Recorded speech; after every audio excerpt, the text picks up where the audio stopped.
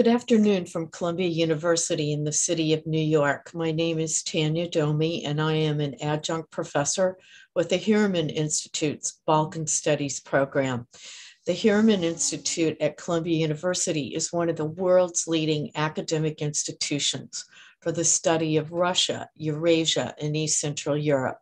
Our mission is to serve our community at the university and beyond by supporting research, instruction, and dialogue, sponsoring vibrant and multidisciplinary events that bring together our extraordinary resources of faculty, students, and alumni.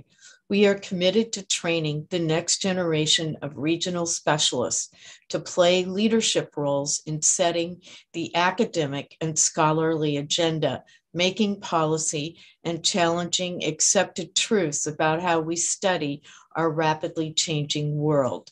Today, the Harriman Institute and the Kupferberg Holocaust Center at the Queens Community College, led by my colleague, Dr. Lori Cohen, are co convening this Holocaust Symposium uh, on Yom Shoah Day, Holocaust Remembrance Day, with an examination that began earlier this morning of Bulgaria.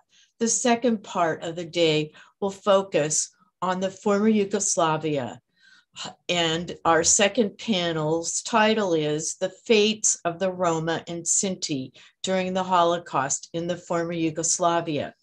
This panel discusses the initial findings of a new research report commissioned by the Auschwitz Institute for the Prevention of Genocide and Mass Atrocities and the FXB Center for Health and Human Rights at Harvard University. Uh, I would like to mention that this is our second collaboration with the FXB Center and with Dr. Magda Matache, who's the director of the Roma Center.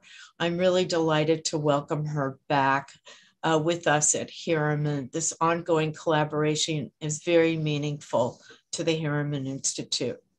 So it's now my pleasure to introduce Dr. Matei Demetrescu, who joined the Auschwitz Institute for the Prevention of Genocide and Mass Atrocities in 2020 as the program officer for the AIPG's Mediterranean Basin programs and the Global Raphael Lemkin Seminar for Genocide Prevention. I'd like to give you the uh, microphone now, Dr. Demetrescu, and share with our audience this undertaking and funding by the Auschwitz Institute with respect to Roma and Sinti people during the Holocaust in the former Yugoslavia. Uh, thank you very much, uh, Dr. Domi, and uh, good evening uh, from Bucharest. Uh, thank you very much for the kind invitation. It is a great pleasure to be here tonight and present briefly an overview of a project which is very dear to the Auschwitz Institute. but before that, uh, I would like to begin with a short presentation of the Auschwitz Institute for the Prevention of Genocide and Mass Atrocities, AIPG, uh, for those who do not know us yet. So the Auschwitz Institute is a non-governmental organization that supports states to develop or strengthen policies and practices for the prevention of genocide and other mass atrocities. Uh, we do that through education programs, customized training, technical assistance, and research. Uh, we work worldwide and uh, we have regional offices established in New York, Buenos Aires, uh, Kampala, Oswiecim at the formal site, former site of the Auschwitz concentration camp, and in Bucharest. Uh, although we work mainly with state representatives, we also provide flexible frameworks of dialogue uh, between government officials, civil society representatives, and academia uh, in the attempt to overcome communication gaps between important stakeholders and to help state institutions to further the development of preventive policies, both domestically and within international fora. And uh, this brings me uh, to the context of the project that we are discussing today.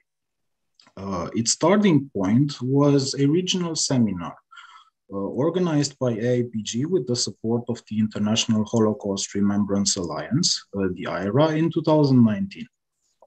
Uh, the seminar welcomed in Bucharest government officials, uh, representatives of civil society organizations, and academia from 11 countries from Southeastern Europe, with the goal to discuss efficient ways to counter Roma genocide distortion through governmental action and to build the capacity of government actors for promoting and protecting the civil and human rights of Roma.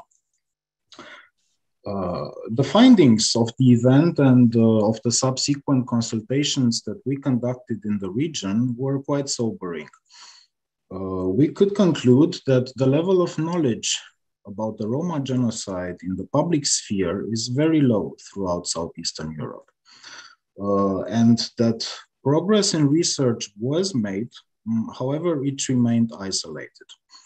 Uh, furthermore, there is a crucial need for continuous action and customized training informed by the complex, complex region uh, history of the region. So, for instance, uh, developing toolkits for local and central administrations, uh, police forces, agencies dealing with Roma topics.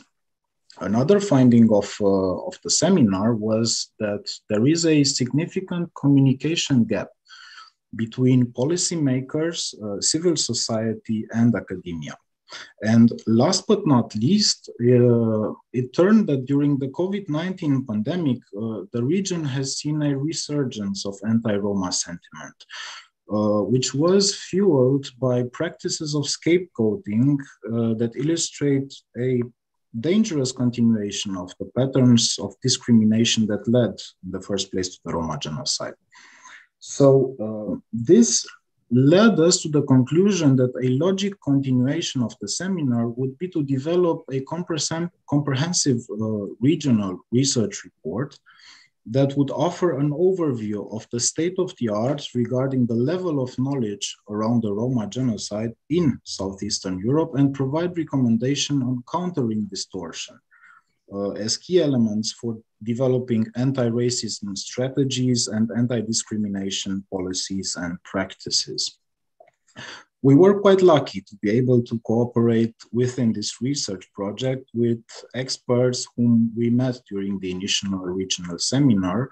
And uh, I'm mentioning here especially uh, Magda, Lenka, and uh, Hikmet, and uh, who have been ever since dear dialogue partners over the last months. Uh, we were also delighted uh, to partner uh, with the FXB Center for Health and Human Rights at Harvard University and to convince uh, Dr. Magda Matache to take up the challenge of being the academic coordinator of this uh, ambitious project.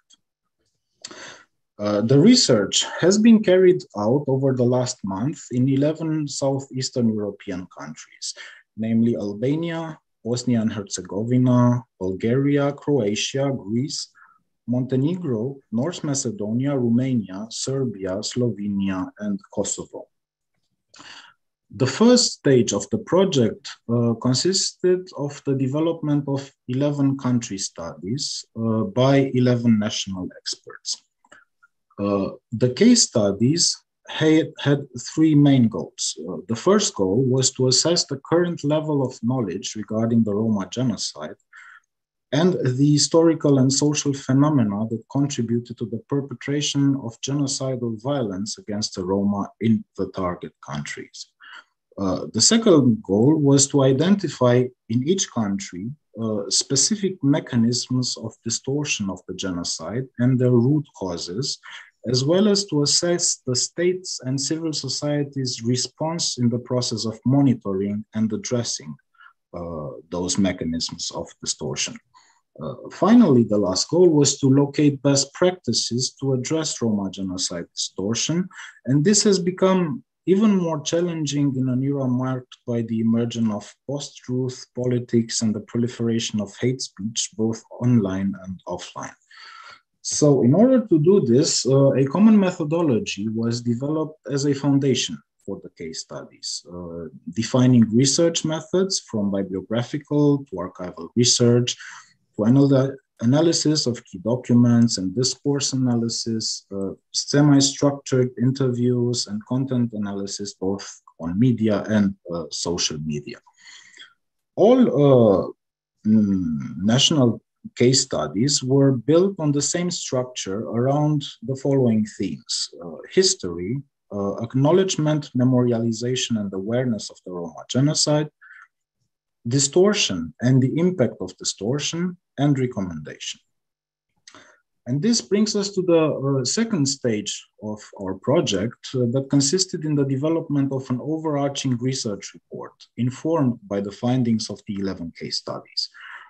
Uh, among other topics, this uh, research report investigates the nexus between the level of knowledge about the Roma genocide in the public sphere and genocide distortion and the present day manifestations of anti-Roma racism.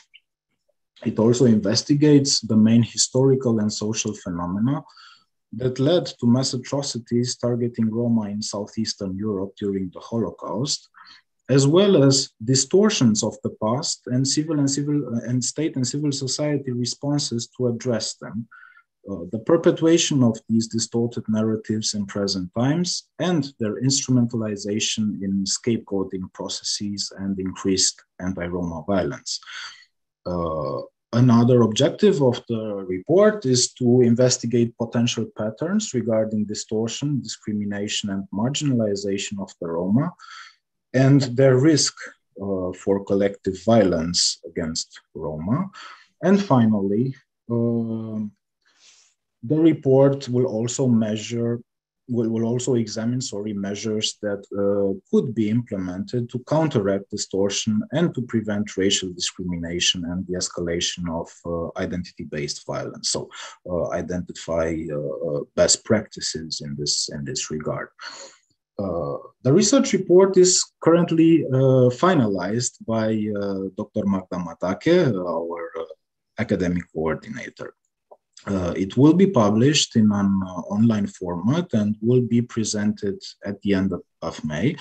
And uh, on behalf of the Auschwitz Institute, it is uh, our greatest pleasure to extend uh, an invitation to you to debate the findings of the report uh, during a virtual launching event, which will also take, take place at the end of, uh, of May. Uh, I would like to end my brief introduction here and uh, give the stage to Magda, Alenka, Hikmet, and uh, Hristo, who will present in more detail some of the preliminary and partial findings of our uh, joint endeavor. Thank you very much. Well, thank you so much. And we thank the Auschwitz Institute for funding this really important uh, research. And there's a gap in the literature and a gap in, in knowledge about the genocide of Roma. So it's very, very important. So without further ado, I'd like to introduce our first speaker, and that is uh, Professor Alenka Janko-Spreizer, who's an associate professor of anthropology at the University of Primorska Faculty of Humanities in the Department of Anthropology and Cultural Studies. She is also a senior research fellow at the Institute of Intercultural Studies and an internationally recognized social anthropologist who does her field work research among Romani groups in Slovenia and elsewhere. She will discuss her research. She will make a presentation on her research with respect to Slovenia you now have the microphone, Professor Spreizer. Good afternoon to everybody, and thank you for the kind invitation to this webinar. Um, and also, I'm very thankful to Magda, Margareta Matache, who sent us questions for these presentations, which is very helpful to be short and punctual. Uh, I'd like to explain what happened to Roma in Slovenia during the Holocaust and Second World War.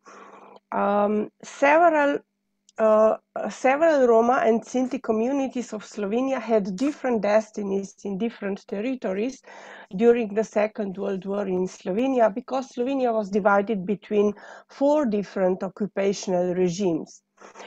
Victims of Nazi per persecution were communities in nowadays northwest part of Slovenia, which became part of the German Reich in 1941. Roma and Sinti were among the first people in Upper Carniola and some of Carinthia to be arrested and brought to the Gestapo prisons in Begunje in April 1941. According to the Begunje Book of Prisoners, the people identified as gypsies and transport, were transported to Serbia were 107. Arrested by Kripo or gendarmerie on racial grounds, the majority were Sinti. Some scholars have so far been unable to determine what happened to these people, but we confirmed that some Sinti returned from Slovenia, from Serbia to Slovenia. Sinti author De Riccardi also claimed that around 400 Roma were killed in concentration camps and 3, 350 in the Liberation War. And he also said that around 50 people returned to Slovenia. Uh, after the capitulation of Italy, Nazi Germany transported 77 people to Auschwitz with the transport on December 2nd, 1943. There were 77 people. Those were Roma from Novo Mesto, southeastern part of Slovenia. Uh, Italian fascist authorities have not systematically persecuted the Roma. That's the official explanation of the historians. But officers proposed Roma should be interned as socially dangerous gypsies, all of Slavic origin and without defined citizenship. In 1942, fascists interned 78 Roma and sent them to concentration camps. 16 Roma died of Italian as victims of Italian occupational units.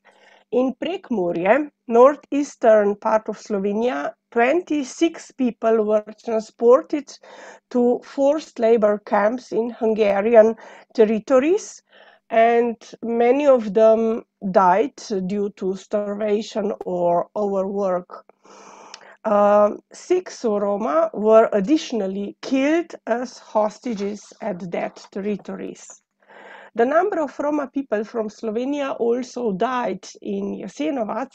That is actually presumption, but um, it is still unknown how many people suffered in this camp or how many people uh, are actually were registered uh, from at the Slovenian territory. So that would be the short description what happened to the Roma and Sinti uh, during the Nazi and fascist occupation. Thank you. Um, our second speaker is Dr. Hikmet Karčić, who is a genocide and Holocaust scholar based in Sarajevo, Bosnia and Herzegovina. He was the 2017 Auschwitz Institute Keene State College Global Fellow who has written extensively on geno genocide denial and atrocity prevention. He is my my dear colleague and friend. I'm happy to welcome him back once again to the Harriman Institute. You now have the microphone, Hikmet.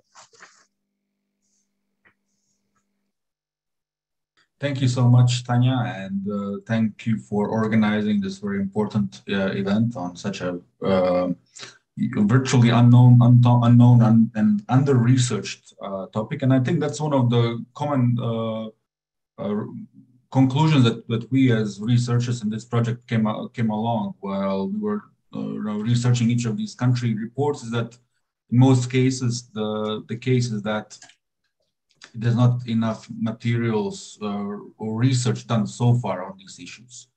And uh, since I was doing Bosnia and Herzegovina, uh, with, whole, with the whole entire complexity uh, of, of the Second World War in, in, in Bosnia during the Holocaust, uh, there was even less written uh, on, on, on the Roma. and virtually the case was that the post-war Yugoslav historiography in a large sense ignored the suffering of the Roma uh, to, to a large, large extent, even when the state commission for gathering war um, uh, data on war crimes, when they were gathering this uh, this information, they did not even use the term Roma at all. Uh, for so even in cases where, where they did document some of the crimes, we do not know that, that it's Roma in question. We can guess or we can uh, al along the lines of, of surnames or uh, mi micro locations or villages or, or, through oral history, we can come, come, come to certain conclusions about the suffering of Roma in this case. Uh, Bosnia and Herzegovina is interesting, uh, I would say, a su sui generis uh, uh, example because in a case study, which, which is different from, from, other, from other regions, similarly to what Alenka said regarding Slovenia, Bosnia itself was not a separate country during, during the Holocaust. It was part of the independent state of Croatia. However, it, it did have uh, some different elements within, within its uh, territory. Um, some sort of uh, semi-autonomy, which was not uh, any administrative whatsoever, but rather the Muslim population in Bosnia had a much more stronger control over its own uh, religious and administrative affairs. So in the case of the Roma, uh, especially in the case of Roma Muslims, the, the attitude towards uh, Roma Muslims was much more uh, different than in, in relation to other Roma in, for example, in Serbia or in Montenegro and in other, other uh, uh, areas of, the other case studies. Uh, so, for example, according to the archives of the Islamic community, which I had access to from the Second World War, I found several very important documents which show actually that on a local level, Muslim uh, clerics and population in certain small villages and towns protected their neighbors, Roma neighbors, uh, basically on, on the fact that they were uh, they, they themselves were practicing Muslims. Um, secondly, the, the, the the local Muslim Bosniak Muslim population did not um, did not trust the Ustaša regime they knew that if the Roma were subjected to uh, racial profiling, that the Bosniaks uh, in the future can also be subjected to such profiling itself and be victims of, of, of mass violence.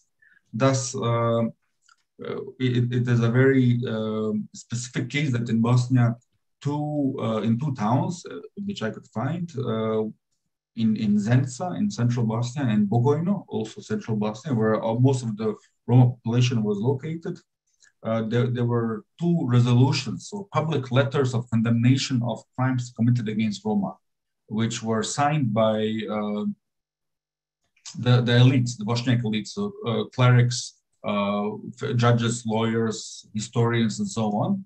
And also in another, uh, in another case, a certain team of Bosniak historians made an analysis uh, which they sent to the Ministry of uh, interior of the Ustaša regime to actually show them that according to uh, German anthropologists, the Roma who live in Bosnia are in fact Aryans, and thus they, they do not fall uh, uh, under the, the racial laws which were imposed by the independent state of Croatia. This was um, uh, a, a, a, way how they found a loophole in the law in order to save or attempts to save a large number of, the Roma itself. Of course, these uh, reactions from the Bosniak population did not entirely stop the killings which were going on against the Roma population, but they did hinder to, uh, to some extent, at least in some of these uh, local populations in these mixed areas, they did hinder a lot um, the killings itself and the persecution because the Ustaša regime was afraid that, the, that uh, if they continue this kind of persecution, the, the attitude of the Bosniaks would be much more oriented towards the partisan movement, which in the, in the end it, it was uh, in, in, in, 19, in the late 1942. So basically, uh, in, in, in the case of Bosnia, there were uh, many massacres which were committed by local militias. And basically, uh, the, the Roma were killed by each and every armed force which was in Bosnia at that time. So even by the partisans, by the SS, by uh, local Muslim militias, by uh, the Ustasha, by the, the Chetnik forces, by basically everyone. So, so they were the collateral damage to some extent uh, where you know in, in in in in some of the cleansing processes of certain villages, if they would if, a certain armed group would come across Roma, they would you know kill them along the way as well. Um, and of course, th this is a, a, a, part of the history of, of our country and of our region, which is entirely unknown, which is which is not talked about, and uh, which has been to a large extent ignored because, uh, firstly, it's very hard to come across any uh, information about these things. So, I previously said, um, the documentation on these cases is very scarce, so very very very little. So you need to really dig deep uh, into archives in order to, to you know, put together a puzzle of, of the events which was going on. And secondly, um, this is an uninteresting topic. Nobody really cares about, about the suffering of the Roma in Bosnia. That is something which I think we will touch upon in the later phase of our, of our discussion. Uh, this total ignorance of, of, of, of events, um, a lack of interest of any sort, um, the, I mean, just an illustration. In the last, uh, you know, half uh, in the last 30 years, uh, there's a, there's been only one PhD on Roma in Bosnia uh, regarding the Second World War, and the the, the works which were done uh, before were were very very uh, were, were done in a very bad shape. So so this shows you to what extent the, the, the Roma population is being treated today in Bosnia itself. Thank you, Hikmet, very much. Um, I am now delighted to introduce our third speaker, Professor Dr. Hristo Kyuchukov, is a German scientist. He's a native Bulgarian, and he is also a professor of intercultural education at the University of Silesia, Katowice, Poland. He is known in Europe and worldwide for his educational and linguistic research with Roma children, for his research on Romani language, history, and culture. Uh, he will discuss his research on the Roman Sinti in Bulgaria. It is um, an, an honor to welcome you to the Harriman Institute, sir.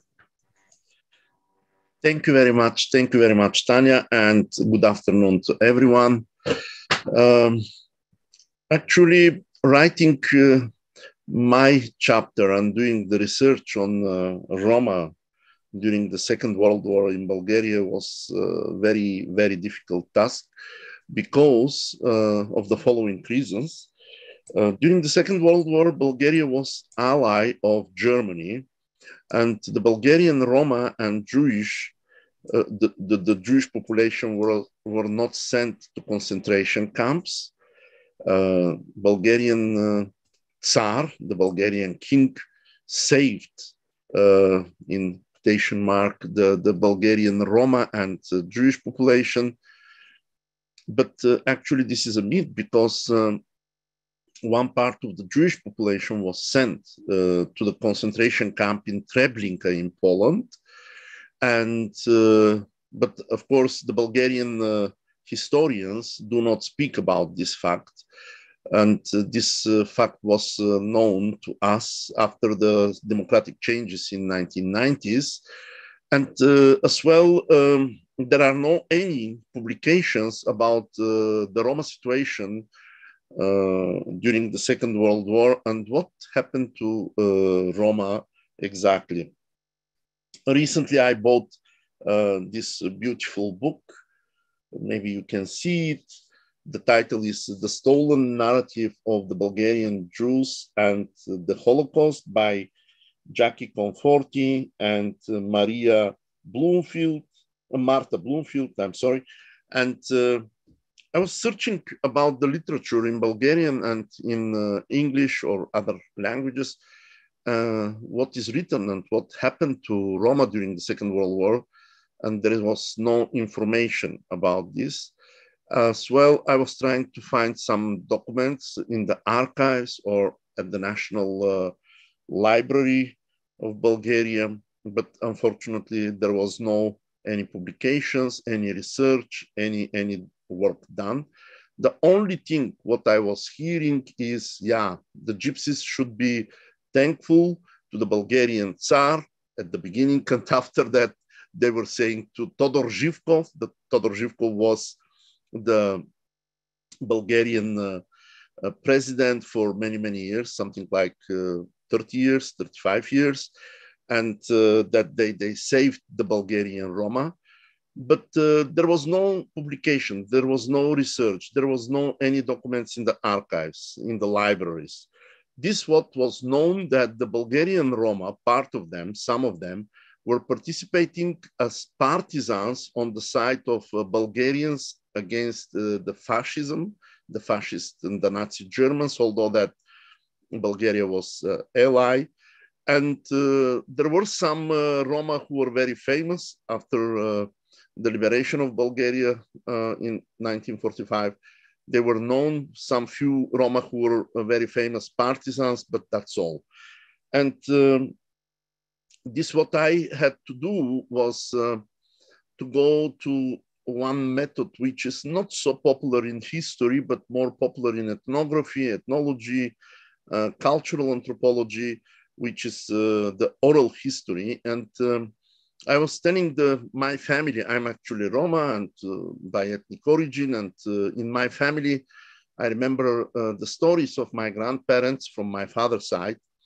During the Second World War, my father was uh, the 11th child and uh, uh, he was baby when one day the Roma in my native town, approximately 3,000 people got an order to go to the a train station and there were trains uh, waiting for the Roma to be uh, deported to another country, another town. They didn't remember the name of the country. They didn't remember the, the name of the city or town.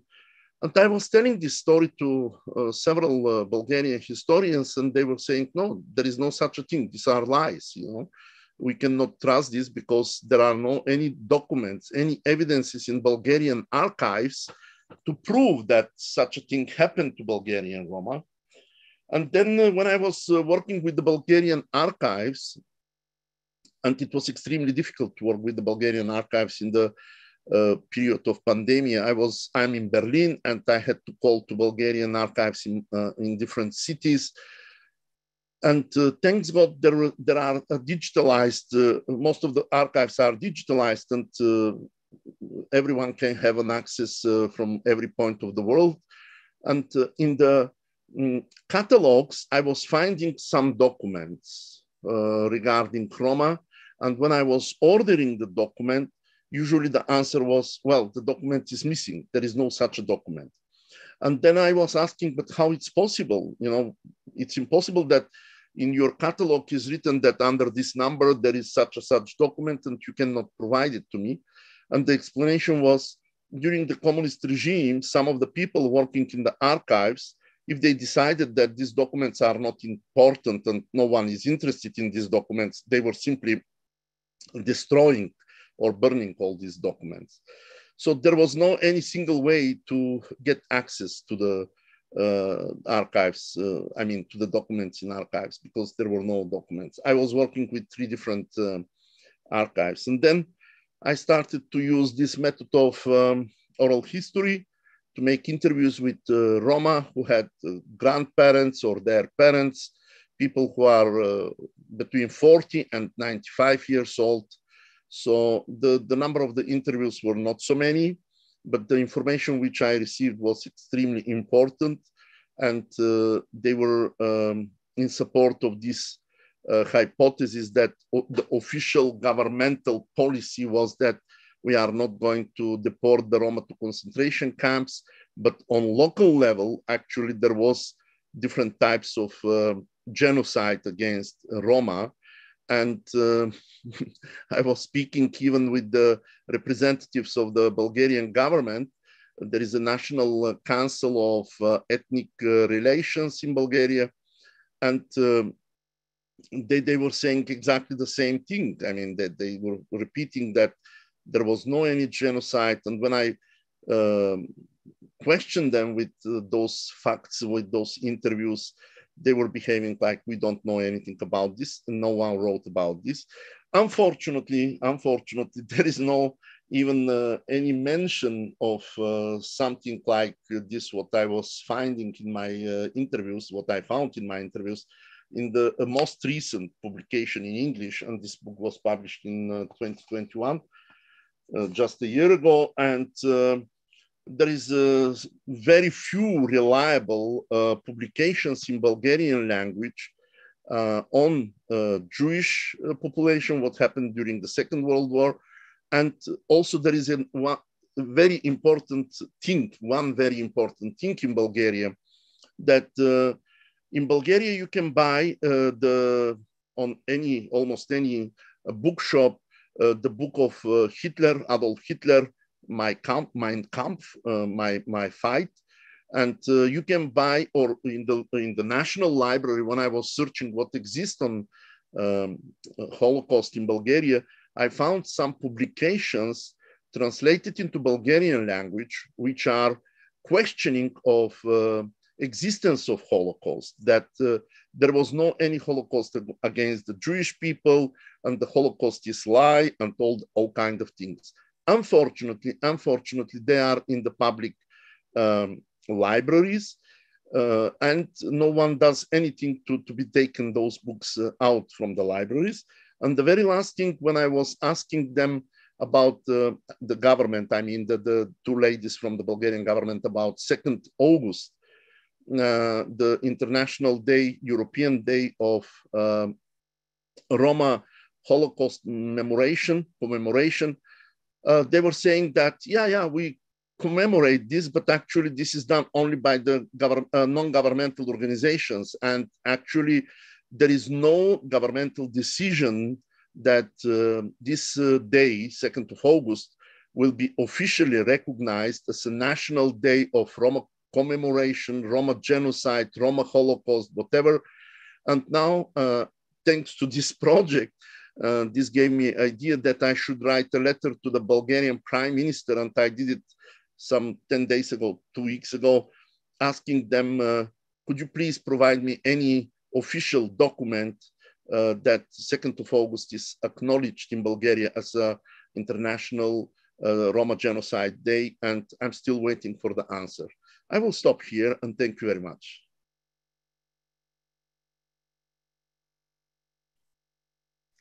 You are muted, Tanya.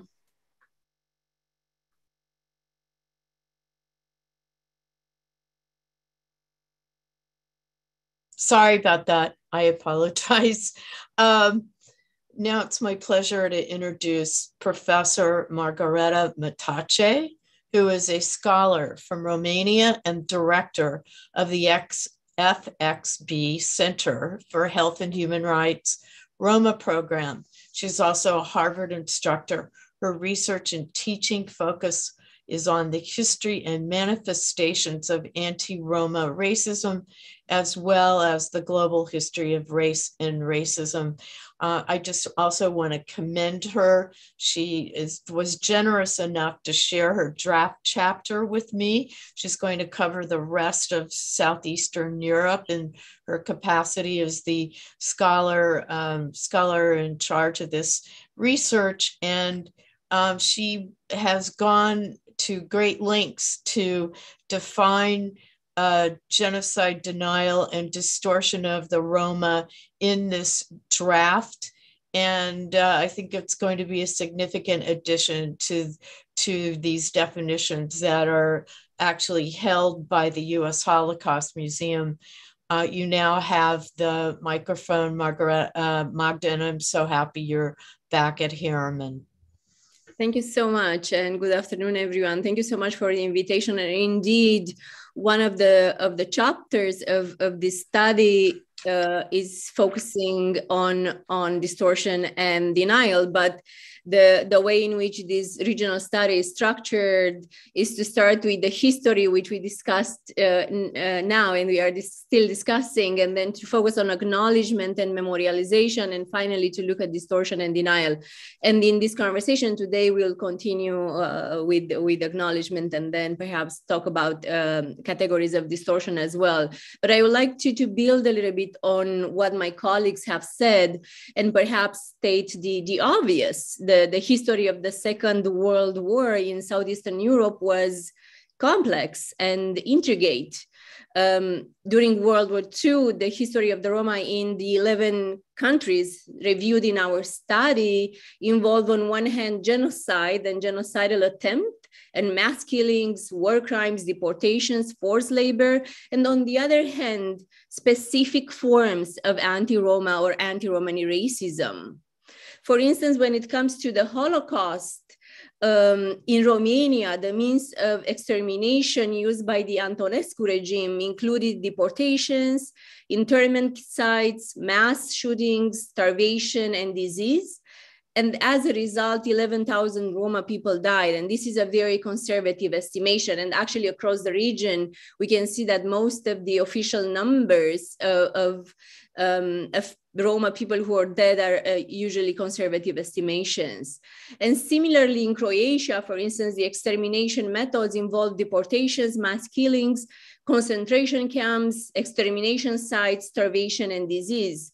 However, the total number of Croatian Roma killed during the Holocaust remains unknown. But we, we, we do know uh, or what we know is that in uh, the largest concentration camp in Southeastern Europe, up to 20,000 Roma people were killed.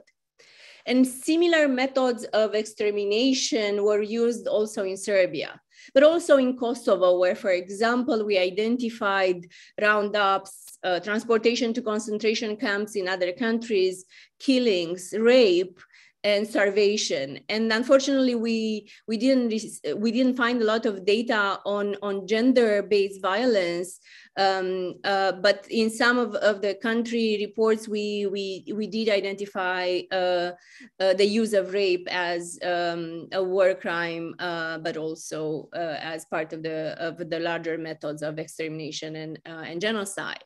But on the spectrum of World War II injustices, there were also countries like Albania, where Roma were not victims of the Holocaust or genocidal policies, but Albanian Roma suffered many manifestations of anti-Roma racism in all areas of lives of life. Many of, of the archival documents from 1920s to 1940s that Rami Hadroj, the country-based uh, researcher, found in the Albanian archive shows that Roma were not allowed to live in or near towns. They faced evictions and physical uh, segregation and also very overt forms of rejection. And the language of this was very much similar to the language that was used and the vocabulary that was used in the countries where Roma did experience the Holocaust. So Roma were, for instance, seen as a big threat to society and were stamped as social and moral destroyers people who could not make their living in how how these uh, archives show in a hum, human way. How, however, there is extremely scarce research and knowledge about the history of the Albanian Roma during World War II. And that is also the case of Greece, Montenegro, Bulgaria, Kosovo, Bosnia, Slovenia, and most countries in, in the region. And I, I would conclude this part, although there is so much to say about the history uh, uh, of the Roma in, in Southeastern Europe during those times, but I, I would just say that the persecution and extermination of Roma and Sinti people by the Nazi and Allied regimes constituted wide, wide-ranging processes in a very long history of anti-Roma racism and so have the consequent and the subsequent endeavors to overlook, silence, misrepresent, distort, uh, distort the Roma Holocaust. But I think that we'll talk about um, denial and distortion uh, later. Um, but I hope we can switch to, to, to acknowledgement and memorialization next. I just want to say that the thing that is uh, remarkable about a consistency in these presentations is the missing documents or uh, documents that were probably destroyed, as Hristo uh, suggested. And uh, as also uh, Hikmet has said, uh, that there just wasn't any documents. And I think that is erasure, and that also is genocide denial as well, if not active uh, active genocide distortion. So I I just think that is a consistent, uh, you know, what I see as a systematic theme throughout all the presentations. Um, who, who would like to uh, make comments now about memorialization? Who would like to go first? Anybody?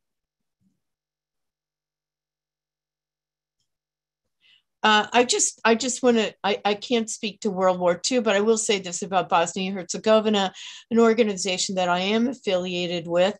Uh, uh, is the Post Conflict Research Center, who's engaging in memorialization of Roma, not only genocide, but about the role of Roma in contemporary Bosnia Herzegovina, the suffering and the discrimination. So that's a relatively new initiative in Bosnia with the OSCE mission there. And I would also add that my colleague in uh, Belgrade, Goran Miletić, has actually organized Roma rights marches in Belgrade something that nobody else has done. Uh, these are just some contemporary examples, but I would like to hear more from all of you about what you found in your research. Hikmet, would you like to start? And then perhaps Alenka and Hristo, and then I will uh, summarize the region. Sure, sure. Okay, so uh, I think the, the issue of memorialization was something which I found very interesting in the case of, of Bosnia, and I think it was quite similar in the former Yugoslavia. But in the case of Bosnia itself, I only found one exact memorial which dealt with, uh, which mentioned the suffering of the Roma. Now, the issue with um, uh, Roma, the issue with memorialization in, in the in the post uh, post-war period in Yugoslavia was that the, the ethnic groups or, or, or um, the nationalities were not named. So, so in most of the of the memorials, it was written. I think this is the case in, in all former socialist countries. The victims of fascism. You know, that that was what was, what was written there. So uh, in Bosnia, I found only one memorial uh, in, in northern Bosnia where uh, the term Roma was, was used. And this is a memorial which was built sometime in the late 1980s. And uh, what we can see there as well is that in other cases where we know that in these certain villages, like in one, one village near, uh, near Tuzla, uh, where Roma were killed, uh, where, where, the entire village was, was, destroyed, and where there was a memorial for the Roma, uh, these memorials were destroyed in the post 1992-1995 war. They were destroyed in a way, that not, not, systematically, but rather most of these memorials had different different types of uh, copper or iron used on, on them, and these were just uh, things which were which were um, taken off in, in the post-war period. And the new uh, government, the new administration was focused more and is still focused more on the 1982-1995 war. That nobody's uh, right now focusing their attention on the, the memorials and and the monuments from the from the uh, from the Second World War. And this is the same thing with with the with the with the partisan memorials uh, throughout, throughout the country and so on. So so that that's the the concrete case in in in in, in question. And also um, what we can see uh, as well is um, something which I did not go so much in, in, in my in my report. Uh, this attempt in trying to um, um, not ignore, when we can use the term ignore, the suffering of the Roma in Jasenovac itself. And, and that's something which is, you know, Jasenovac is it's not viewed as a, as a place where, uh, you know, everybody was killed, but rather the suffering of, of only Serbs. Whereas, uh, you know, right now the, the, the, Bosnian Serb government is creating a new memorial in, in Gradina, where uh, the, the, the Roma who try and come to commemorate their victims there, at least try to give a speech. This was this was told this was told me by one representative for, for Roma Association in Sarajevo. Uh, the official uh, Bosnian Serb government has their own Roma representative who they want to see there. Um, so so uh, the, the the manipulation of memory the hijacking of memory still exists to this day, which is right now connected not so much with the Holocaust um, and genocide distortion from the Second World War, but has a lot to do with political um, um, events currently in the country itself, and and that's something which which makes things even much more much more uh, difficult uh, to say. Thank you. Uh, I think that uh, Margareta mentioned my name after Hikmet, so maybe it's uh, uh, important that first I would mention the question about the acknowledgement and memori memori memorialization in Slovenia, which is quite interesting due to the fact that uh, actually it is much, much more it is it is very much influenced by this uh, international framework about the commemoration of the Roma um, uh, genocide day or uh, or the commemoration of the Holocaust uh, Memorial Day uh, in 20 7th of January. And I've already seen uh, the question of Daniel Vojak, uh, and I will later answer this question because uh, my third intervention uh, is connected with this issue. Uh, what is interesting in the case of Slovenia is that we have a quite big uh, national uh, delegation at the IHRA, and that uh, within this delegation there are very many committed, personally committed people uh, who are striving for uh, commemoration of the Roma genocide. Actually, it's uh, done on private initiative, I could say, or uh, uh, people who are actually engaged as scholars, as of, and of course as members of this um, delegation. But the point is that from the official pa part of the state, the 2nd August is not recognized as, official, as an official uh, commemoration day for the commemoration of the genocide of the Roma. So consequently, people uh, who started to speak about genocide of the Roma during the Second World War uh, and of course also partisan killings uh, uh, in the same time during the se Second World War were people who were organizing different cultural or educational events uh, and uh, for example, uh, some national museums has quite important role. For example, in 2011, um, the Slovene Ethnographic Museum, together with one um, private uh, institution uh, in Maribor, organized the first lecture which is the first lecture, according to my knowledge, prepared by Sinto Rom, by Sinto uh, from Gorenjska, and he presented there his uh, findings and his uh, publication of the books.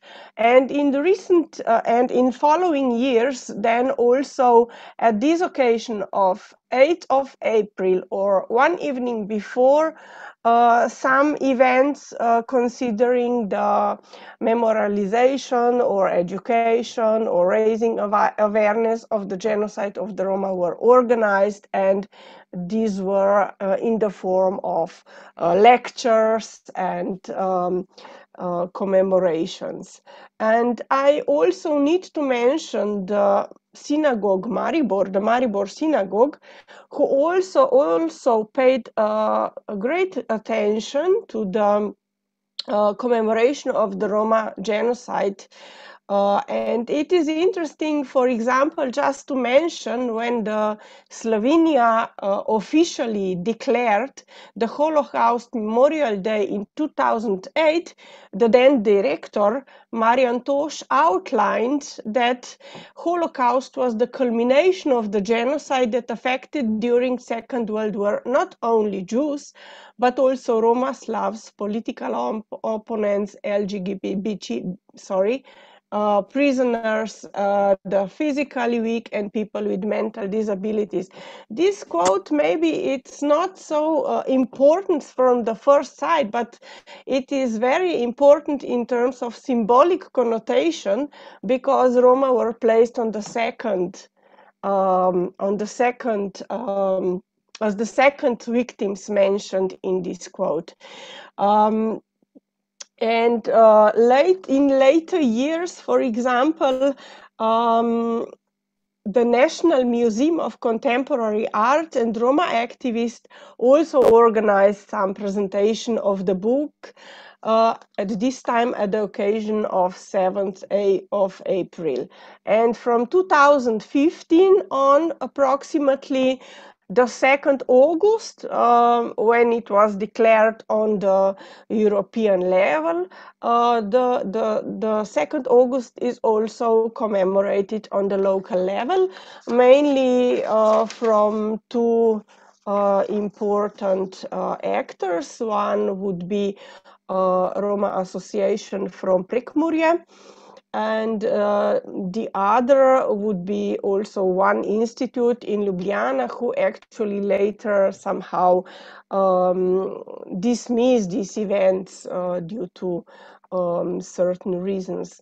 And for me, what is also important to mention for you is that we actually do not have official or uh, how to say um, official um, monument or um, uh, lieu de mémoire uh, where uh, such a kind of uh, commemoration could happen. Uh, it was actually um, in in I don't remember by heart now the year exactly, but it was actually around 2011 and later uh, that a new monument was was constructed, was built, was uh, established uh, in front of the Begunje, um, uh, former Nazi Begunje prison uh, um, uh, institution. And actually, this uh, monument is not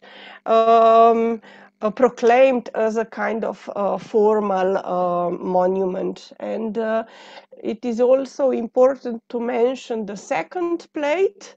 Uh, the second plaque, it is uh, actually a plaque which was put on the house uh, in some at, at, some location in Murska Sobota to commemorate all the victims of Roma who suffered during the Second World War.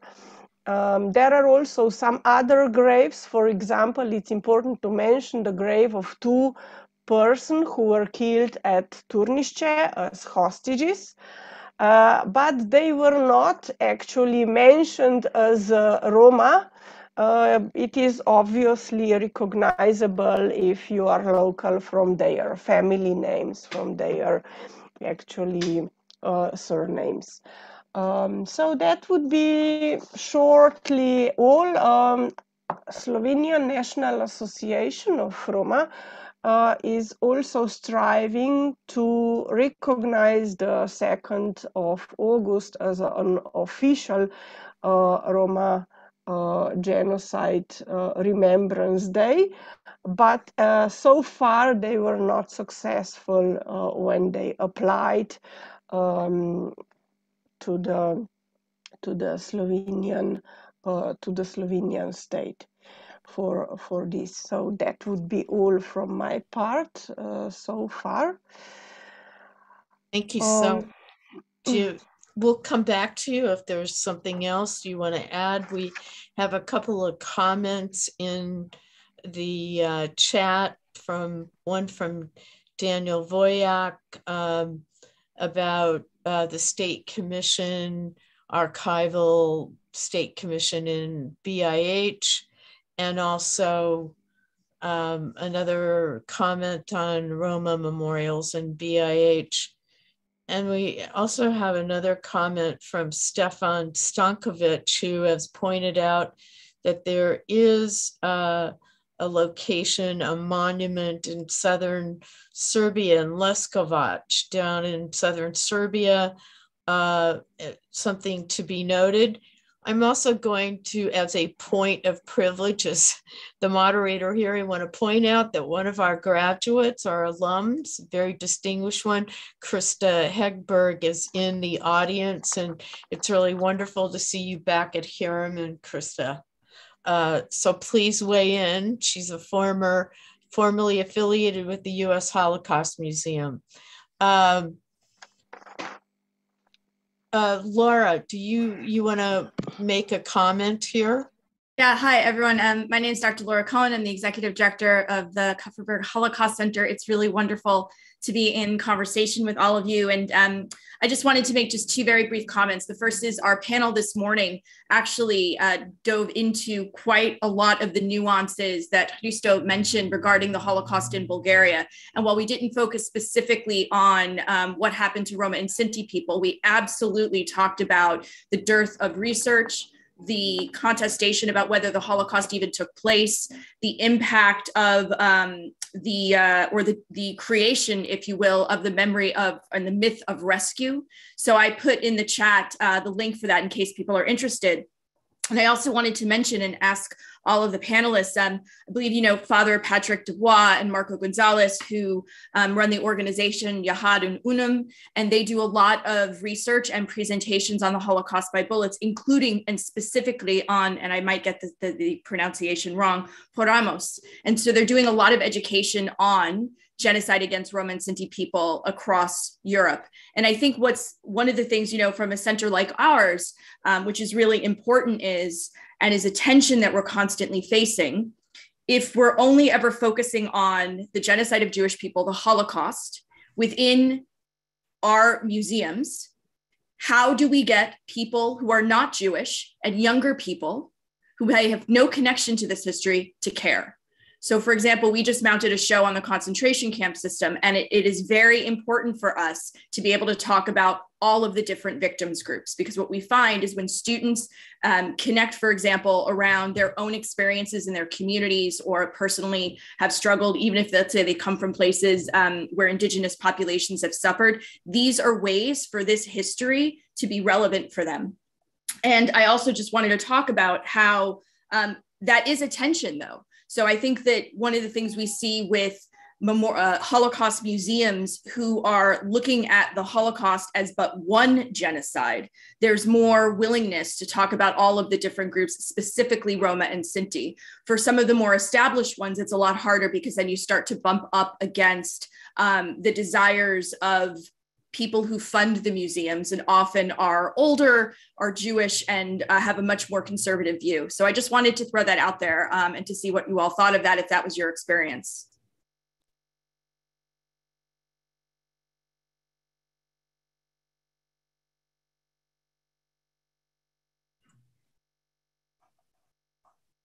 No. I wonder if uh, Hristo, you would like would you like to continue with the part of, of acknowledgement, share a little bit about Bulgaria, and also address this question because I think it's so so related. I will address it to Laura, but I would like to hear about Bulgaria as well. Yes, uh, I'm ready to continue, but I was waiting uh, Tanya to give me a sign. I'm sorry, apologize no problem. No problem. Okay. So. Uh, maybe I should uh, say that uh, during the communist time uh, in Bulgaria, there was no commemoration even of the Jewish genocide. And of course, the Roma genocide was absolutely unthinkable. No, no way that uh, anyone will recognize that there was a genocide with Roma because, as I mentioned, the Bulgarian Tsar, the Bulgarian king, was um, uh, the, the savior of uh, the Jewish and uh, Roma community, although that uh, during the Second World War, 11,343 Jewish people were sent to the concentration camp uh, in Treblinka from uh, the new territories of Bulgaria, from Macedonia and from Greece.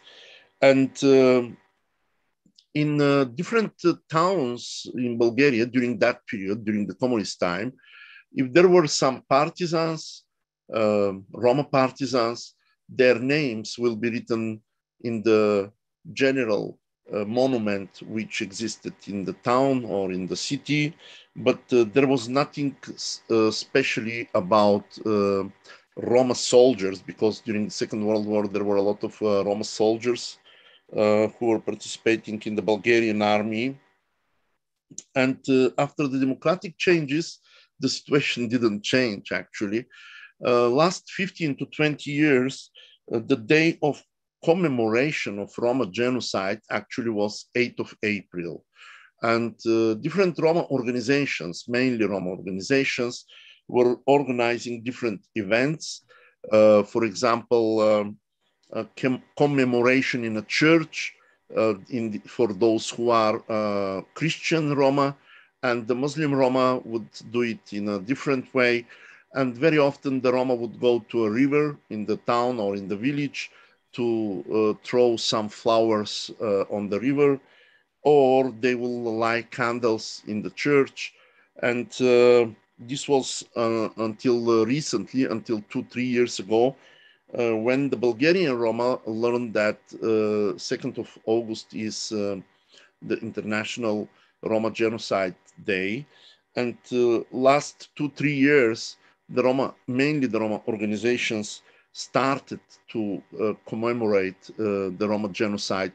And uh, unfortunately, most of the Roma uh, didn't know anything about, about the Roma genocide in Europe. It was not uh, popular in Bulgaria because of the communist propaganda during the communist regime.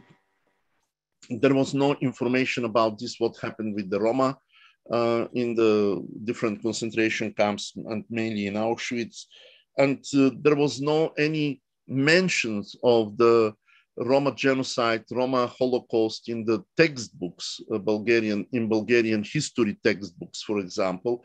In my report, I was um, doing an overview of uh, different te textbooks, and uh, there was just mention of the word Roma several times, but nothing on particularly, there was no any single lesson in the textbooks on Roma genocide or Roma Holocaust.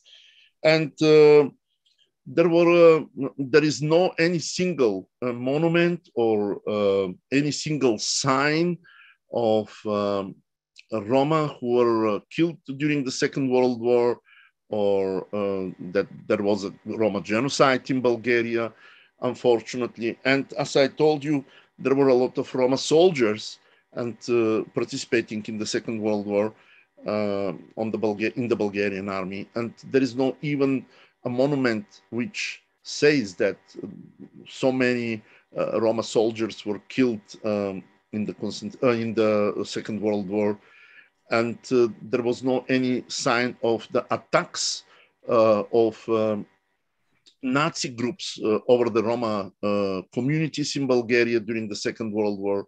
And there is no information about this, that there were attempts to send the Roma to concentration camps. So this is a, a, a question which is taboo, a topic which is taboo.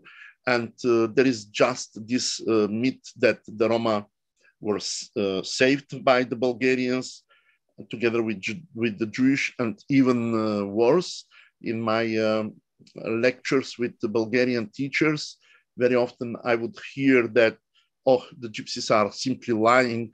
Uh, there was no any kind of uh, repression or uh, any kind of attempts to be sent to concentration camps or there were no attacks by Nazi organization, Nazi groups uh, during the Second World War on Roma communities the, the Bulgarian teachers simply do not want to accept and to believe in that. So unfortunately, the, the 2nd of August uh, as a day of Roma genocide commemoration is done only by uh, Roma NGOs. And um, there is, unfortunately, there is no uh, any book on uh, Roma genocide in Bulgaria written by Roma or non-Roma historians and uh, the information is very, very limited. Yeah, unfortunately. So I think this is what I wanted to say more or less. Thank you. Thank you very much. Um, uh, Magda, do you want to add uh, your comments with respect to Yes, I would like to add a few comments, but perhaps Please. I would first start with um, we, with a few comments uh, about uh, Laura's. Um, oh, sure. But Please. also say sure. a few words about a question that we we we have in, in the chat that uh, asked about our view on the correct term uh, for for the Roma genocide, the Roma Holocaust, Porajmos, uh, Kalitrash, uh, and so on. And Laura, I'll focus more on the terminology, but I think you'd see the connection between terminology and these sites of memory in in, in many ways. And um, I, I, would perhaps start by saying that there is no consensus regarding the term that should be used to describe the persecution and mass atrocities perpetrated by the Nazi regimes and their allies against the Romani people in Europe. And I think that in fact, this is one of the most sensitive, loaded, and controversial topics in political, institutional, and intergovernmental spaces. And often the choices over one term or another are made in the realm of political, epistemic, and cultural power. We would see that, for instance, um, um, the European Parliament talks both about the Roma Holocaust and the Roma genocide. IHRA uses the, uh, the term Roma genocide, and the Council of Europe uh, and the United Nations see the Roma as victims of, uh, of, uh, of the Holocaust. But I think that one of, uh, uh, of the main reasons of opposition to include the Roma victims under the Holocaust umbrella comes from the idea, from this idea of a unique fate of the Jewish people that were targeted for annihilation. And there is a whole conversation here um, uh, uh, about the Roma as well. Um, and I think that in, in, in, these spaces and in this conversation, it's been hard for us in this study to, to use a particular term. So in the study, you will see that we decided to use Roma Holocaust slash, slash Roma genocide with the idea that the Roma Holocaust is not a different Holocaust, but is actually, we are talking about the Roma victims of the Holocaust. And with the idea that the Roma genocide is not just one Roma genocide, because there have been several genocides against Roma uh, across Europe, including the Gypsy Roundup in, um, in the 1700s in, in Spain. So it's hard. But when it comes to, to Romani terms, which we would use interchangeably with the English ones, we use Samudaripen slash Porajmos, but nobody has had any sort of, uh, of complaints about Kalitrash or other terms. There is more controversy about Samudaripen and Porajmos, and in some countries we use Samudaripen Pen in some other we use Porajmos. So the, the, the short answer is, you know, context matter and the voices of the people, the victims and the survivors and their descendants are uh, important um, um, uh, as well. But when it comes to, to acknowledgement um, and, and um, memorialization, I, I would add that similar to other parts of the world, state institutions and other stakeholders have pushed and pulled various strategies and processes of both remembering, but also forgetting or acknowledging and silencing the memory of the Roma victims of, of the Holocaust. And we know that frequently securing and retaining public memory and memory site or memory sites is contingent on political interest and power resources. Um, we, we can say that the no normative acknowledgement of memorial days of the Samudaripen has been perhaps one of the most concrete and visible evidence of will and intention to remember the Roma victims of the Holocaust taken by several states in Southeastern Europe. Um, for instance, Serbia has prioritized memorial days with significance at the national level. Um, and but frequently August 2nd has been recognized as a shared day of commemoration across the region and broadly at the European and global levels. For instance, Croatia and Romania have adopted laws recognizing August 2nd as the Roma Memor uh, Holocaust Memorial Day. Um, and other countries like North Macedonia or Montenegro observe August 2nd, but there is no normative acknowledgement of this Memorial Day. Uh, more broadly in the region, if we were to look at Albania, but also Bosnia, Bulgaria, Greece, or Kosovo, there is no normative acknowledgement of August 2nd or any other significant national date regarding the Roma victims of the Holocaust or the Roma plight during World War War in the specific country. Um, there are quite a few memorials in, in the region, but uh, not enough if you are to look at uh, the specifics in each country. What is perhaps uh, um, interesting is, is, that in some of the former Yugoslav countries like Serbia and Hikmet also mentioned Bosnia, there are some memorials that um, were built during the Holocaust and some of these memorials sometimes uh, are um, uh, placed in uh, areas documented for massacres of um, um, uh, of the Roma, but there we have no information, and there I don't think that there are any memorials of the Roma victims of the Holocaust or other World War II collective injustices in Albania, Bulgaria, Kosovo, Montenegro, or um, uh, North uh, uh, Macedonia. And one more point about history teaching. Um, I, I would say that um, across the region, we identify distortion, minimization, and omission of historical facts regarding Roma in history textbooks and classes. And to us, that is very concern, is concerning.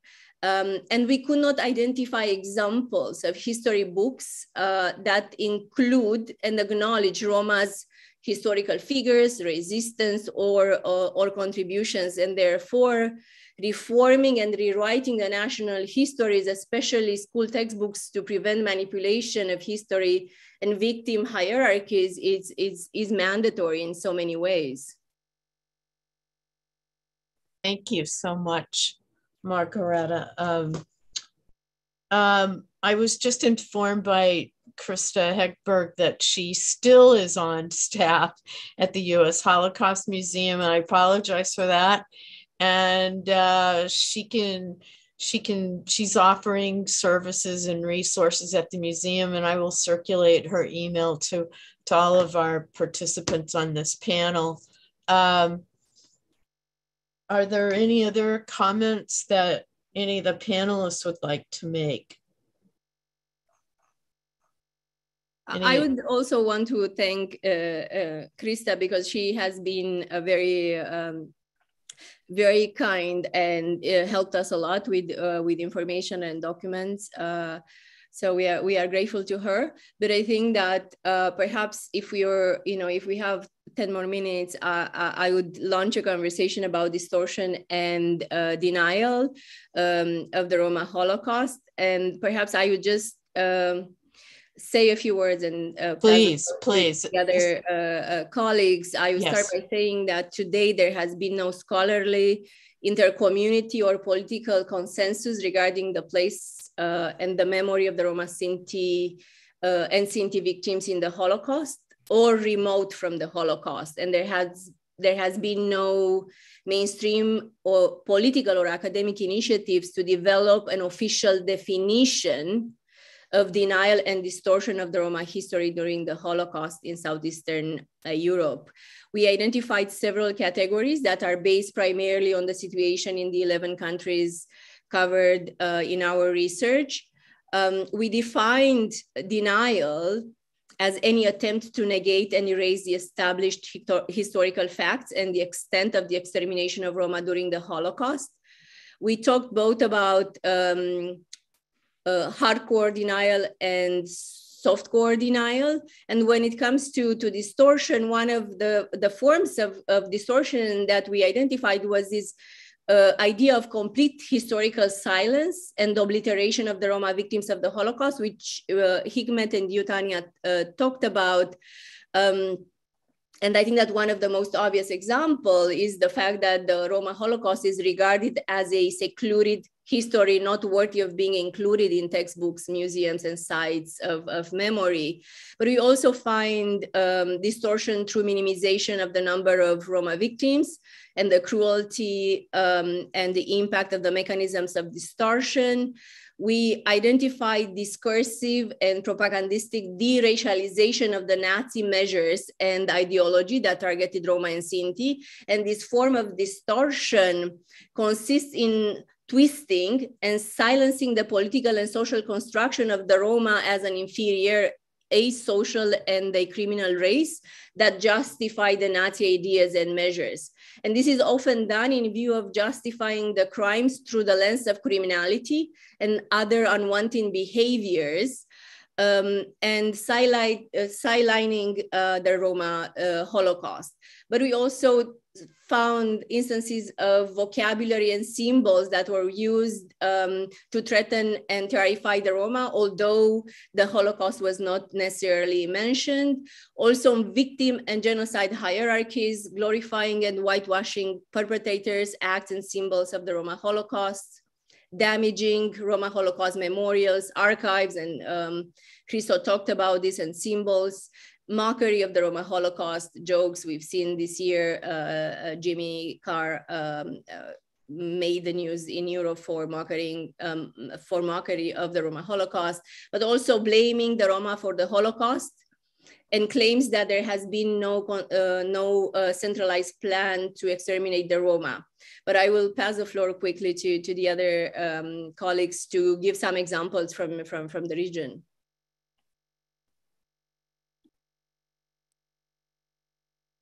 Hristo, would you like to start? Yes, I was almost going to offer. Well, uh, I will start with this that uh, your last words, uh, blaming Roma for the Holocaust. This is something which um, very often we see or we read or we um, hear.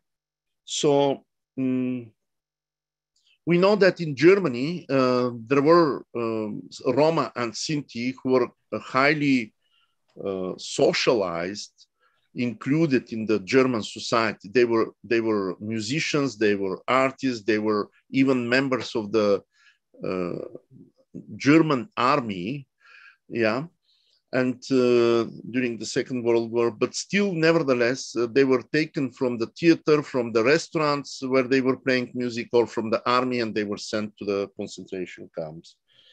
And uh, in most of the cases, and this is what I wrote in uh, my report, that uh, uh, I was giving the example of my family. My grandparents were not asocial, they were not criminals, they were just ordinary Roma trying to make some kind of living, having their professions, Roma professions.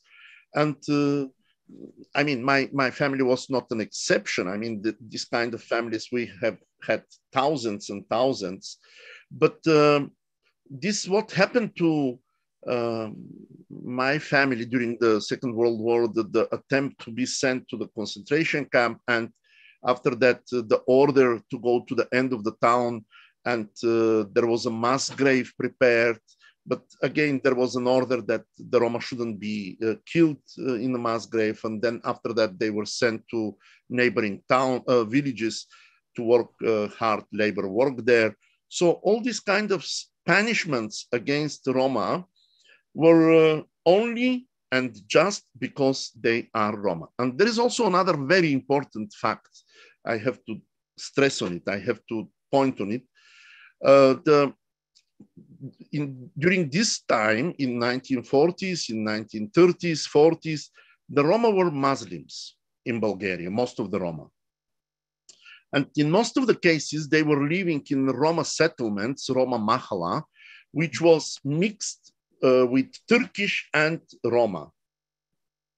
And when there was an order, uh, the Roma to be sent to the train station uh, actually the police, the people knew which houses from this mixed Roma Turkish settlement are the Roma houses, and they were taking only those families to the train station and to this uh, mass grave. And actually, I did hear that from one of the Turkish uh, guy who is 95 years old. Unfortunately, he died uh, recently, and uh, he was telling that the police, the uh, soldiers did not come to the Turkish houses.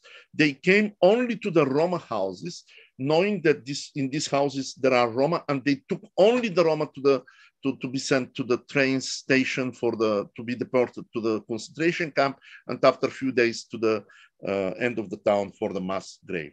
And uh, another issue why the Roma are very often blamed? Because uh, I heard that also in some uh, video films uh, with uh, Roma who were uh, sent to Transnistria in Romania. There is a notion of shame. There is a notion of, um, how I should say it, yeah, large in Romani language, that uh, the Roma women could not speak about this, what happened to them during that time, being sent to concentration camps or what happened in the concentration camps and all these kind of things. And um, or the, the, the, Roma woman cannot tell to their children or grandchildren that she was raped in the from the soldiers. This this kind of things also happened of course.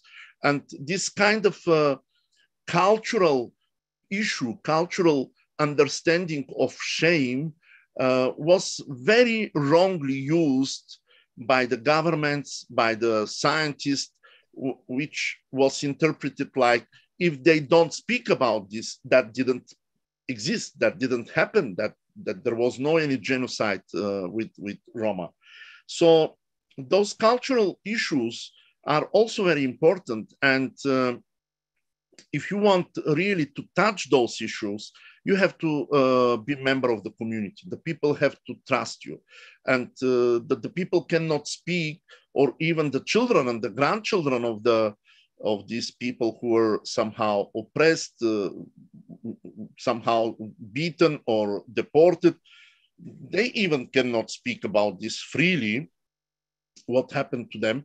They have to trust you and they have to believe that you are not going to point it as something dirty because in the Roma community still there is this notion of dirty, polluted, and unclean, and it's it's very very dangerous uh, if the people uh, have this feeling that uh, they are uh, pointed like this family is polluted because this and this happened to their uh, wives or to their grandmother or to their whatever. So. Um, to, to sum up, I, I would like to say that uh, doing um, research on Roma genocide uh, among Roma is not an easy, uh, it's not an easy issue, especially when you use the uh, oral history approach. And um, uh, this, this very wrong understanding from the society, this very um, the, the, attempts to um, minimize, to deny, uh, to distortion all this what happened to, to Roma is unfortunately um, very largely uh, spread, especially in social media. And we can see that and we can read on this, uh, especially when there is a, a celebration of 8th of April or commemoration of the Roma genocide on 2nd of uh, August, the comments of the people, representatives of the majority societies, mainstream societies, how they um, comment and how they, what they write and what kind of uh, opinion they have about this. And uh, again, I think that uh, in order to uh, overcome this denial and distortion, uh, we still have to work extremely hard uh, in order that uh, the Roma communities get kind of recognition uh, about this, what happened, especially in Balkan countries where there was no this. Uh, uh, I mean, we know about Croatia with the Ustasha and the concentration camps, but in some other countries, there were no concentration camps, but still there was a genocide against Roma and uh, there is a need a lot a, a, lot of new research a lot of new investigations uh, uh, historians and roma activists and roma and non-roma in order to bring new information about this. And again i would say that it is very sensitive issue because of the shame because of the lack which exists uh, among the roma communities. So i will stop here. Thank you very much. Um, Thank you. Uh, Alenka, do you have anything else to add? I just want to keep in view of the time. We're a minute over, so if we're going to answer, let's do it very quickly.